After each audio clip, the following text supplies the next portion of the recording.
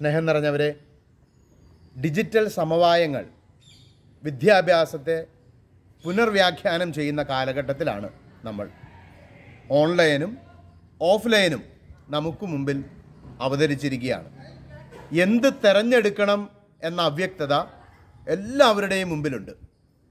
ഈ വിഷയത്തിൽ നിങ്ങൾക്ക് ഓരോരുത്തർക്കും വ്യക്തതയും ഉൾക്കാഴ്ചയും ഉണ്ടാകുന്നതിന് വേണ്ട ആശയങ്ങൾ ചർച്ച ചെയ്യുകയാണ്. ഡോക്ടർ ബെന്നി പാലാട്ടി വീടും വിദ്യാലയവും എന്ന യൂട്യൂബ് ചാനൽ. മാതാപിതാക്കൾക്കും അധ്യാപകർക്കും കുട്ടികൾക്കും പഠന കാര്യങ്ങളിൽ വ്യക്തത നൽകുന്നതിനുള്ള പരിപാടികളാണ് ഈ ചാനലിൽ ഉള്ളത്. നിങ്ങൾ ഈ ചാനൽ സബ്സ്ക്രൈബ് ചെയ്യുക ഫോളോ ചെയ്യുക. ഷട്ട് ഡൗണിന്റെയും ലോക്ക്ഡൗണിന്റെയും കാലത്താണ് ഓൺലൈൻ ലോകത്തെ മനുഷ്യർ തിരിച്ചറിഞ്ഞത്. കോവിഡിലൂടെ ഓൺലൈൻ വിദ്യാഭ്യാസം വ്യാപകമായി. ഇതിന്റെ വിശാല സാധ്യതകൾ നമുക്ക് മുമ്പിൽ തുറക്കപ്പെട്ടു. നന്നായി ഉപയോഗിക്കുന്നവരുടെ കൈകളിൽ ടെക്നോളജി അത്ഭുതവും അതിശയവുമാണ്. അത്ഭുതങ്ങളുടെ കലവറയായ ഈ ഖനിയിൽ നിന്നും ജ്ഞാനവും കഴിവും അടുത്ത നൂറ്റാണ്ടിനാവശ്യമായ പരിശീലനങ്ങളും വാരിക്കോരി എടുക്കേണ്ടതാണ്.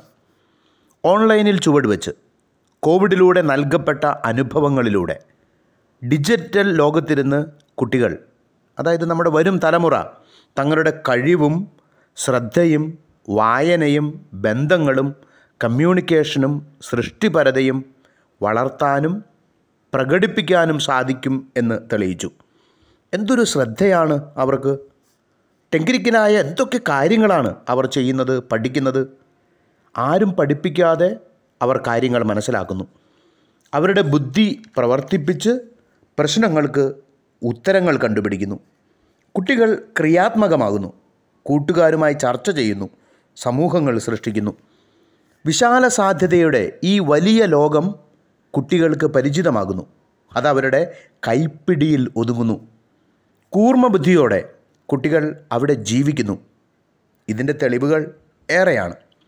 എന്നാൽ ഓൺലൈനും സോഷ്യൽ മീഡിയയും ഗെയിംസും നൽകുന്ന അപകടങ്ങളാണ് മുതിർന്നവരെ ആശങ്കയിലാക്കുന്നത്. ആകുലപ്പെടുത്തുന്ന ഒരുപാട് കാര്യങ്ങൾ ഇവിടെയുണ്ട്. ഓൺലൈനെ പലരും കാണുന്നത് ഉത്തരവും വളർച്ചയും സാധ്യതയും ഒന്ന ഒന്നുമായിട്ടല്ല. ഇത് പുതിയ വാദാനമായി അംഗീകരിക്കാനും തയ്യാറല്ല. പലരും ഈ ഡിജിറ്റൽ ലോകത്തെ പ്രതിസന്ധിയായിട്ടാണ് കാണുക. ഇത് നാശമാണ്. കുട്ടികൾ കെണിയിൽപ്പെട്ടിരിക്കുകയാണ് തോന്നിവാസമാണ് ഇവിടെ. മുഴുവൻ സമയവും കുട്ടികൾ മൊബൈലിൽ മിണ്ടാട്ടമില്ല പഠിക്കുന്നില്ല ചുറ്റുപാടുകൾ ശ്രദ്ധിക്കുന്നില്ല വെല്ലുവിളികൾ അപകടങ്ങൾ നാശം മാത്രമാണ് പലരും ഇവിടെ കാണുക. വ്യത്യസ്തമായ അനുഭവങ്ങൾ അല്ലേ? ഈ വ്യത്യസ്തമായ അനുഭവങ്ങളിൽ നിന്നുകൊണ്ട് ഡിജിറ്റൽ ലോകത്തെ മനസ്സിലാക്കാനും വിശകലനം ചെയ്യാനും നാം തയ്യാറാകണം.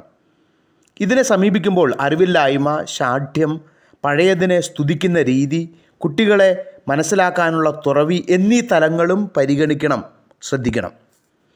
അപകടകാരിയായ ഇന്റർനെറ്റ് നാശം പഠിക്കുന്നില്ല ദേഷ്യം അനുസരിക്കുന്നില്ല തുടങ്ങിയവയിൽ മാത്രം ഒതുങ്ങിപ്പോകാത്ത ഈ വിഷയങ്ങളെ സമീപിക്കേണ്ട രീതികൾ നമ്മൾ മനസ്സിലാക്കണം. കുട്ടികളുടെ പഠനം വളർച്ച സുരക്ഷ എന്നിവ സ്വപ്നം കാണുന്നവരാണ് മാതാപിതാക്കൾ. ഇതിനായി കഠിനാധ്വാനം ചെയ്യുന്നവർ. വിദ്യാഭ്യാസം ഭാവി കഴിവുകൾ കുട്ടികൾ എന്താണ്?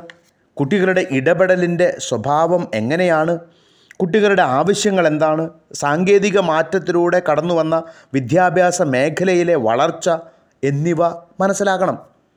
സാങ്കേതിക വിദ്യയിലെ ഉണർവ് വിദ്യാഭ്യാസ രീതിയിൽ ഒരുപാട് മാറ്റം വിതയ്ക്കുന്നുണ്ട്. വിദ്യാഭ്യാസ മേഖല പുത്തൻ ഉണർവിലേക്ക് കടക്കുമ്പോൾ പുതുതലമുറയ്ക്ക് വേണ്ട ഏതൊക്കെ സാഹചര്യങ്ങൾ അവസരങ്ങൾ പരിശീലനം എന്നത് മാതാപിതാക്കന്മാർ മനസ്സിലാക്കി തീരുമാനമെടുക്കണം. കോവിഡ് ഷട്ടവണിലൂടെ പൊതുസമൂഹത്തിന് മുമ്പിൽ വെളിവായ ഓൺലൈൻ എഡ്യൂക്കേഷന്റെ സാധ്യതകൾ പഠിക്കണം. കുട്ടികൾ അത്ഭുതങ്ങളാണ്. ഡിജിറ്റൽ ലോകത്ത് പരീക്ഷണങ്ങളും അന്വേഷണവും സംഘടനാശക്തിയും സൗഹൃദങ്ങളും പ്രശ്നപരിഹാരവും സംവാദങ്ങളും പരീക്ഷിച്ചു നോക്കി അവർ ക്രിയാത്മകരാകുന്നു. വ്യവസായ വിപ്ലവത്തിന്റെ ഫോർ പോയിന്റ് ഒ സ്റ്റേജിൽ എത്തി നിൽക്കുകയാണ്. ടെക്നോളജിയും പ്രൊഡക്ഷനും വ്യവസായങ്ങളും എല്ലാം. ഇതിനാവശ്യമായ സാങ്കേതിക വിദ്യയുടെ കരവിരുത് കുട്ടികൾ നേടിയെടുക്കണം. ഓരോ കുട്ടിക്കും അവനോ അവൾക്കോ അവകാശപ്പെട്ട വിദ്യാഭ്യാസം ലഭിക്കണം. ഡിജിറ്റൽ പ്ലാറ്റ്ഫോം ഇതിന്റെ സാധ്യതകൾ തുറന്നു വയ്ക്കുന്നുണ്ട്. എന്നാൽ മുതിർന്നവർക്ക് ചിന്തിക്കാനാകാത്ത ഒരു പ്രതിഭാസമായി മരീചികയായാണ് ഇത് നിലകൊള്ളുക എന്ന് തോന്നുന്നു. ക്ലാസ്സിലെ എല്ലാവർക്കുമായി വിളമ്പുന്ന അറിവുമായി സംതൃപ്തരാകേണ്ടി വരികയാണ് നമ്മുടെ കുട്ടികൾ. ഭാവി തലമുറയുടെ വെല്ലുവിളികളും സാഹചര്യങ്ങളും അവർക്ക് വേണ്ട കഴിവുകളും ചിന്തിക്കാൻ മുതിർന്നവർ വിമുഖത കാണിക്കുന്നുണ്ട്. ചുറ്റുപാടുകൾ തരുന്ന സാഹചര്യങ്ങളിലൂടെ തങ്ങളുടെ കഴിവുകളിൽ കുട്ടികൾ അഭിവൃദ്ധിപ്പെടേണ്ടവരാണ്. പരീക്ഷ എഴുത്ത് പുസ്തകം ഓർമ്മശക്തി എന്നിവയും ഇവയ്ക്ക് അപ്പുറമുള്ള കഴിവുകളും പഠനവും ചിന്താശക്തിയും കുട്ടികളുടെ വളർച്ചയ്ക്ക് അത്യാവശ്യമാണ്. ഇവയെയും ഗൗരവമായി എടുക്കണം. കുട്ടികൾക്ക് നൽകപ്പെടുന്ന ഓരോ സാഹചര്യത്തിലൂടെയും പുതുയുഗത്തിനാവശ്യമായ കഴിവുകൾ ഇവരിൽ സന്നിവേശിപ്പിക്കാൻ ആകണം. ഡിജിറ്റൽ വേൾഡ് എന്ന സാഹചര്യത്തിലൂടെയും ഹയർ ഓർഡർ തിങ്കിങ് സ്കിൽസും മറ്റു കഴിവുകളും വളർത്താൻ ഓരോ കുട്ടിക്കും സൗകര്യവും പ്രേരണയും നൽകണം. കുട്ടികളെ അംഗീകരിക്കുന്ന പിന്തുടരുന്ന പ്രോത്സാഹിപ്പിക്കുന്ന വഴികാട്ടി കൊടുക്കുന്ന അവർക്ക് ബഹുമാനം ലഭിക്കുന്ന വേദികൾ കുറവാണ്. എല്ലാ കാര്യങ്ങളിലും സംശയം കളിയാക്കലും കുറ്റപ്പെടുത്തലും കുട്ടികളുടെ ക്രിയാത്മക ഇടപെടലുകളും ചിന്തകളും മനസ്സിലാക്കാൻ ആരുമില്ല. ഇത് കുട്ടികളെയും ഫ്രസ്ട്രേറ്റഡ് ആക്കുന്നുണ്ട്.